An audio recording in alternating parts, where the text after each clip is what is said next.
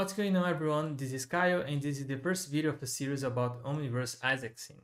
I will bring you a lot of content about the main features of Omniverse Isaac Sim that are valuable for robotics with real implementations and concepts that are easy to follow and reproduce on your own PC. Or if you don't have a desktop with RTX GPUs, you can use Omniverse in the cloud, you choose. In this first video, I'm gonna be going through the main features of Omniverse and believe me, it has a lot of tools, extensions, whatever you call it, it's huge. I'll leave the link for each tool in the description below and feel free to reach out to me if you have any questions. Let's do it. If you need a tool to build a virtual robotics world and perform some experiment, you've got the right tool for it. It's called NVIDIA Omniverse Isaac Sim. NVIDIA Omniverse Isaac Sim is a robotics simulation toolkit for the NVIDIA Omniverse platform.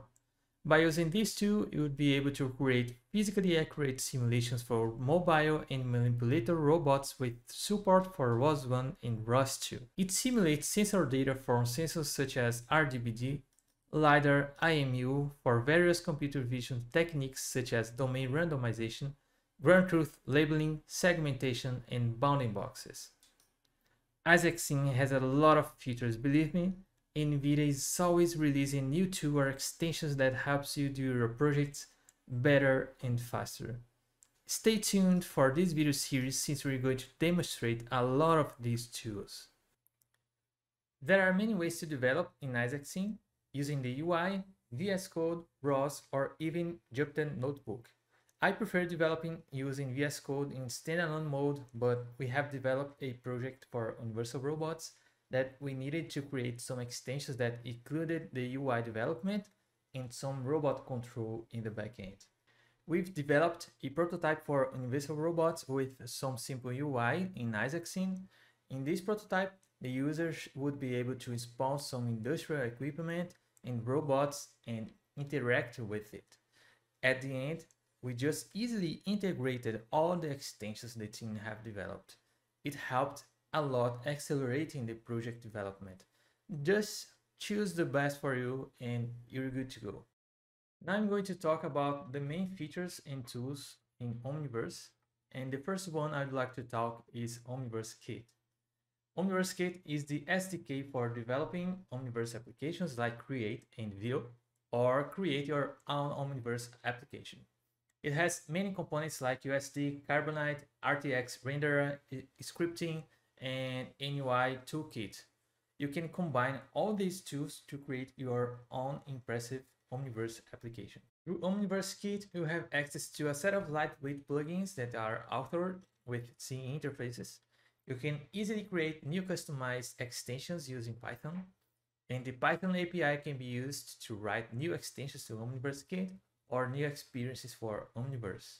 You have access to several interesting tools for developing such as Hydra that allows USD to string its content to any renderer uh, which has a Hydra scene delegate including Pixar's HD Storm as well as Omniverse RTX renderer as well as Omni.USD that provides access to USD audio subsystem, asset and layer handling, event and listeners, etc. You also have Carbonite to manage plugins, access files, rendering inputs, loading images, and so on, and many other interesting tools that you can check in the link description below. Omniverse Isaac Scene uses NVIDIA Omniverse Nucleus to access content such as USD files for environment and robots, and it works like that. You make a change to the scene, publish modifications to the digital assets and virtual worlds to Nucleus database, and subscribe to their chains. It's ideal for collaborative work and teams can have multiple users connected together live with multiple applications all at once. You can even use connectors to share and modify representations of virtual worlds. The most common data formats used across Omniverse, as I said, is uh, USDs, also MDLs, images, and similar. However, any kind of file can be shared within Nucleus you have version control, asset tagging, and many other features that help in the development. Nucleus can be installed on a workstation on premises or in a private cloud. By using USDs, you can easily create and model your robot and your scenario with visual and physics properties and share between applications such as Maya, Unity, Unreal. Uh, in Isaac Scene, we've got the Omni.usd module that serves to load and initialize Pixar's USD library. You have interfaces in C++ and Python to attach, open, close, and save stage and do state carry. We'll be digging into that in the next few videos. If you have already tried to generate a dataset for training AIs, you have experienced how difficult and time consuming it is to get it done. Other than that, there are challenges that cannot be modeled from real datasets such as speed, direction, and occlusions for, uh, of real objects. And this amazing tool called Replicator can automatically generate synthetic data for you, including all the data it would not be possible to acquire in real datasets. It's also possible to leverage domain randomization to diminish the gap between real and simulated environment using this tool. Omniverse connectors can be used to access a large pool of assets in appearance and it can be defined using MDL, for example. It would increase the robustness of the AI algorithm against uh, industrial layouts changes, for instance, like color, position of objects, orientation, and etc. Isaac Scene is also easily integrated with ROS1 and ROS2. You have access to a lot of sensors like camera, LiDARs, RTX LiDAR to support solid state and rotating LiDARs, and all the ROS functionalities like transform trees, teleport, navigation for mobile robots, joint control for manipulators. Uh, it supports uh, MoveIt, and you can even create your own custom messages. Uh, in ROS2, you, you can uh, simulate your robot in, uh, in Isaac Sim in Gazebo in parallel and compare performances, for example. And you have also access to the ROS Visual is named uh, Gem that you can uh, debug your navigation algorithm using RViz, for example. It helps a lot. OmniGraph have uh, been released recently by NVIDIA and it facilitates a lot uh, to configure the simulation environment. You can use configure your input devices. You can scripting using Python. Uh, you can configure a lot of sensors really, really easily. You can also uh, implement some controllers for your manipulator robots or mobile robots. Um, and believe me, it uh, accelerates a lot the development. As I said, uh, we don't want to waste too much time configuring the environment uh, by using code and OmniGraph just speed it a lot.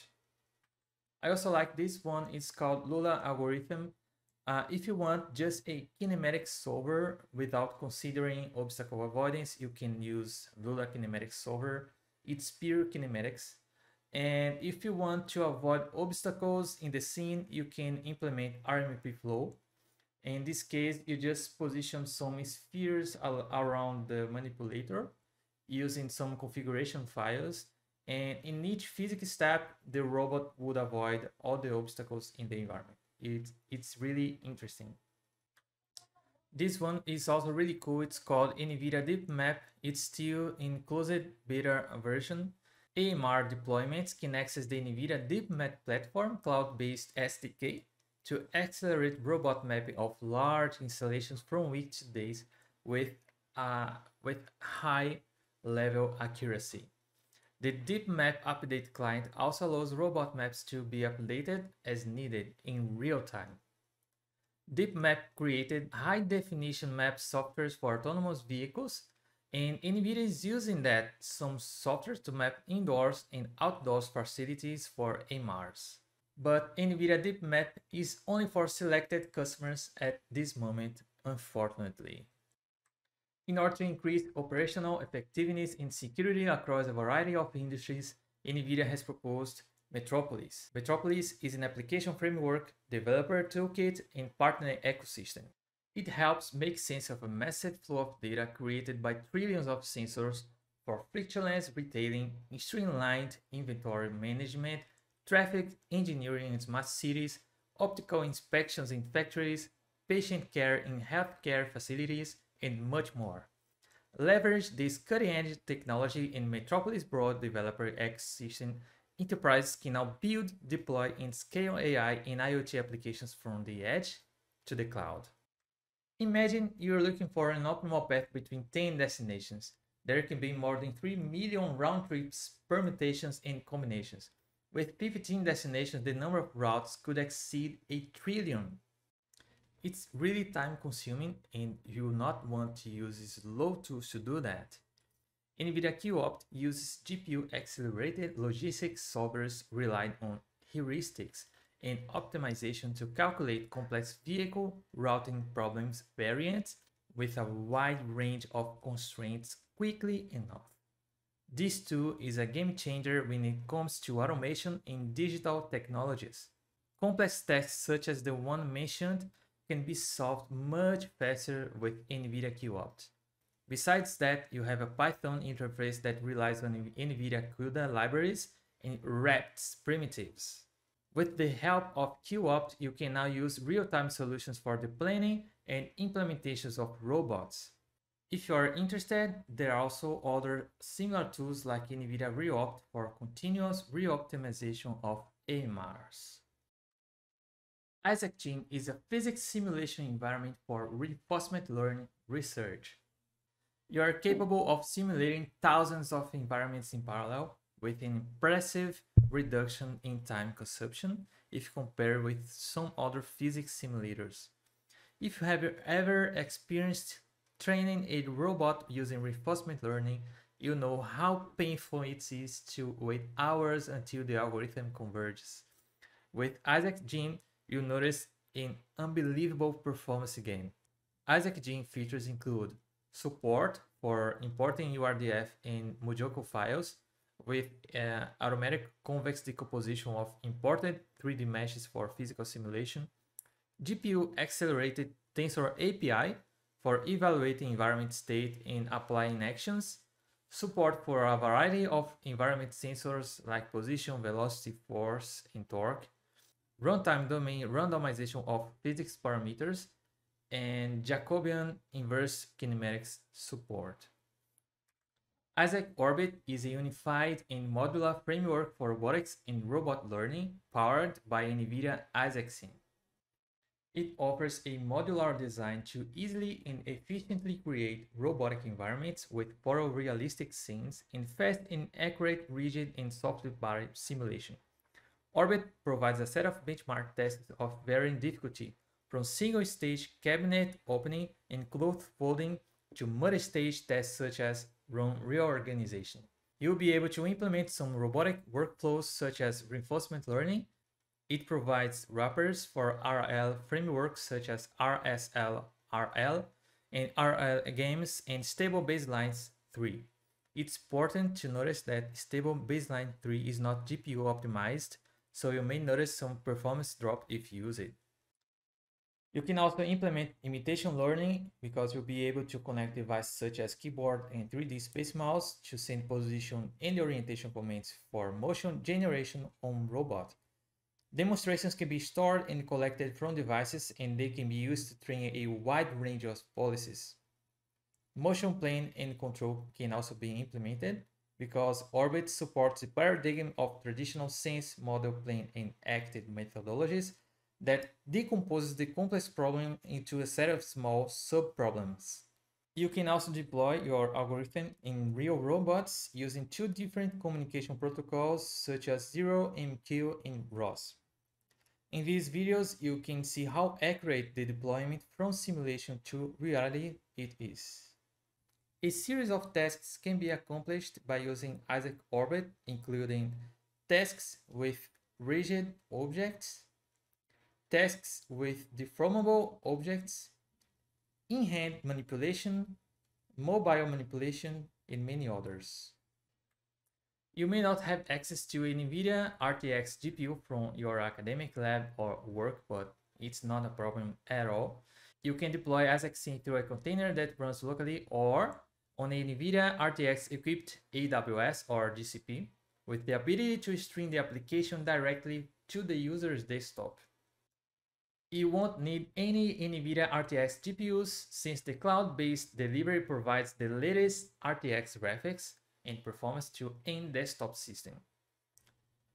That's it for this video guys. I hope you enjoyed the content and in the next videos we're going to talk about each NVIDIA application in some more details and we will be coding together and we'll have a lot of fun. See you soon.